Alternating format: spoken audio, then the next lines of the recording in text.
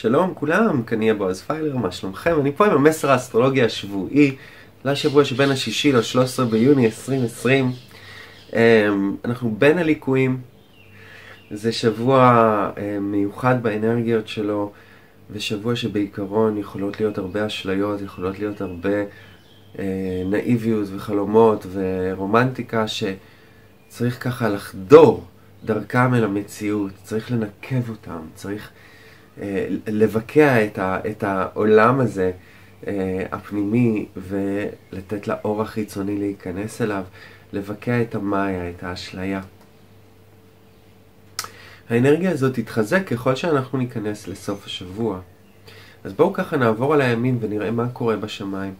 בעיקרון, אנחנו מגיעים בסוף השבוע לזמן שבו מאדים, כוכב האנרגיה הזכרית, ונפטון, הכוכב של אל הים והמים והרגשות והרחם הקוסמי, כל מה שהוא חזק וגדול מאיתנו ולא בשליטתנו, נצמדים בשמיים במרובע לשמש.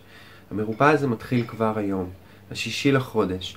השמש עומד במרובע למאדים, ובימים האלה כולנו כדאי שנשים לב לצד היותר אגרסיבי, זכרי, בכולנו. כן, אלה זמנים שאפשר להתקדם הרבה קדימה, אבל האימפולסיביות יכולה להיות בעוכרינו. השביעי לחודש הוא יום שהתקשורת הרגשית שלנו, במיוחד במקומות של משפחה, במיוחד במקומות אינטימיים, צריכה להיות יותר זהירה, יותר רגישה. פשוט מהסיבה שחירון מרובע לירח ומרובע אה, אה, למרקורי. אז הם יוצרים T-סקוור ביחד בשמיים, זה היבט שבאמת אה, אה, גורם לחשיבות בדבר הזה שאמרתי, תקשורת רגשית, במיוחד במקומות אינטימיים. עדכון אישי קטן, אתמול ירדתי ככה למכולת בפעם הראשונה, אמ, אז המוכרת שאלה אותי אם אני אמ, הפסדתי בהתערבות. אמרתי לו, לא, זה אני האמיתית, אני ככה, כן, תצטרכי להתרגל. אה, אז זה היה כאילו איזשהו מעבר אחד שצלחתי, ואז כאילו חזרתי הביתה בערב, הייתה משפחה אחת בבניין שכאילו ממש חרדתי מה הם יגידו כשהם ידעו, של משפחה של אה, דתיים, ו... כמובן שהיקום זורק, כאילו, זורק את זה עליי, כאילו, בפעמים הבודדות שיצאתי ככה מהבית, אה, זה היה כמובן בלילות למסיבה, ואז כמובן שבחמש בבוקר כשחזרתי, אז אני רואה את הבחור, אה, את האבא המבוגר הדתי, היה במשפחה, יורד בדיוק להתפלל עם הטלית עליו. אמ, היי, אז uh, חזרתי הביתה ואני כולי כזה prepped up וככה, כאילו, עצרתי לידו, אמרתי לו, טוב, תשמע, אמ, יש לי כמה כיפות לתת לך, כי הם כבר לא יעלו לי על הראש, אני בתהליך אה, להפוך להיות אישה. אמר לי, אלוהים שמור. אמרתי לא, אה, זה דווקא עושה אותי מאושר. אתה יכול להיות מאושר גם ככה. אמרתי לא, אני דווקא יותר מאושרת עם ההחלטות שלי. אה, והיה לנו דווקא שיחה נחמדה, ו- וזהו, ועברתי את שתי המשוכות האלה. אז באמת, כאילו, אנחנו צריכות המון אומץ. לא רק אני, בתור טרנסית מתחילה בגיל 40 ו... סיפרתי את הגיל שלי. אמ, כולנו עכשיו צריכות להיות אמיצות להיות מי שאנחנו, לאהוב אחרים, לא לפחד. וזה חשוב בזמן הזה, ואם יש עוד משהו, דבר אחד שנורא חשוב בזמן הזה, או שיותר נכון מאוד חשוב בזמן הזה, זה שנילחם באמת לא לחזור למי שהיינו לפני הקורונה. שלא נכניס את הכל אוטומטית חזרה לתוך היומיום והשגרה שלנו. שנילחם על מה שצריך להישאר בחוץ, על מה שצריך להישאר נקי, על מה שצריך להישאר שונה. כי כשאנחנו נסתכל על הזמן הזה ברטרוספקטיבה לאחור, אנחנו כל כך נשמח שלא עשינו רגרסיה חזרה למי שהיינו לפני זה. אז בואו נמשיך עם הימים. יום שני, השמיני לחודש, יום עם מלא אנרגיה בשמיים. אולי טיפה יותר מדי אנרגיה, לפעמים אנחנו לא יודעים בדיוק מתי לעצור. יש שם המון רגשות, רגשות שיכולים גם להיות דרמטיים ואובססיביים מדי. תרחיקו את עצמכם קצת בשביעי ובשמיני מהרגש ותהיו יותר הגיוניים, שכלתניים. ביום שלישי, התשיעי לחודש, לא להיות שופטים קרים, לא, להיות, אה, לא לתת לדכדוך להכריע, למציאות להכריע. זה דווקא יום כן לבסס דברים, זה יום כן לסיים דברים. זה יום לעשות uh, פיינליזציה לדברים. כלומר, להחתים את ההסכם, uh, uh, uh, לגמור דברים, um, או, או, או לבסס דברים במובן של uh, uh, חוקיות, או, או להעמיק ולהשריש אותם. יום מצוין מבחינת כסף ומערכות יחסים. כלומר, יום טוב להציע נישואים למשל. אמ, והעשירי לחודש, מהתשיעי בעצם, העשירי והאחד עשרה, שלושת הימים האלה הם יומים מצוינים להיות עם חברים, ליהנות בהם, אה, לרפא בהם מערכות יחסים שקצת נפצעו בזמן האחרון, לרפא את הסיפוק שלנו מאותן מערכות יחסים, אה, לאכול, לשתות, ליהנות עם אנשים שאנחנו הכי אוהבות. אה, ונוס במשושל לחירון, הירח במשולש לשמש, וגם השמש במרובע לנפטון ב-11 לחודש. הרבה אשליה, הרבה רומנטיקה, הרבה נאיביות.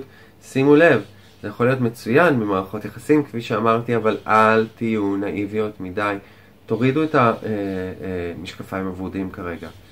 אחלה עדשות, אבל אנחנו צריכים לראות דברים בצבעים אמיתיים, ודווקא זה יביא את התוצאות הטובות ביותר. אה, לא מעט השראה ורוחניות. יום שישי ה-12, הרבה אנרגיות, הרבה תקשורת, אה, אנרגיה שהיא רוחנית, תקשורת שהיא נקבית. יום טוב אה, אה, לכל מיני דברים אמנותיים. יום שבת ה-13, לשים לב לתחושות שלנו של הפגיעות, לשים לב לתחושות שלנו של חוסר ערך, לשים לב לתחושות שלנו של חוסר אונים. זה יום שבו הירח, שאחראי על הרגשות שלנו, על הפיטר הרגשי שלנו לחיים, נצמד לאותו מאדים נפטון בשמיים, זה השיא של הכל, הם גם נצמדים. אנחנו יכולים לחוש את תחושת ההון וחוסר האונים בצורה יותר חזקה, מתחככת בנו בחיים.